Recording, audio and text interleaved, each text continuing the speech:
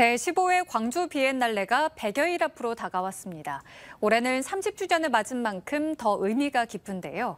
광주시와 광주 비엔날레 재단은 시민들이 참여할 수 있는 행사 등을 마련해 관심과 열기를 끌어올리고 있습니다. 정경원 기자입니다.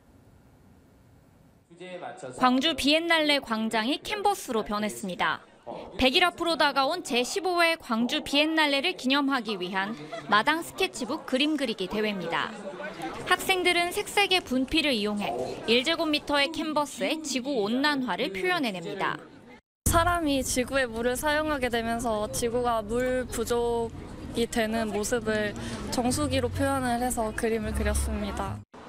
올해 비엔날레는 세계적인 명성을 자랑하는 니콜라 브리오가 예술 감독을 맡아 판소리, 모두의 울림이라는 주제로 개최됩니다.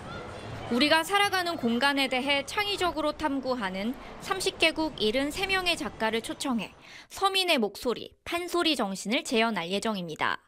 특히 생태와 환경 등 모든 존재의 울림을 현대 미술로 선보일 계획입니다. 광주시와 광주 비엔날레 재단은 남은 기간 시민들이 참여할 수 있는 다양한 홍보 활동을 통해 비엔날레에 대한 관심을 높이기로 했습니다. 유튜브나 또는 뭐 SNS, 인스타그램 SNS를 통해서 이렇게 할- 홍보하는 것뿐만 아니고 명예 홍보대사 그리고 인플루언서들 인플루언서 등을 통해서도 홍보를 이렇게 할 것입니다.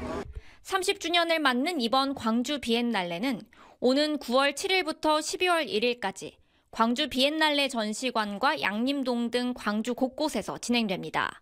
KBC 정경원입니다.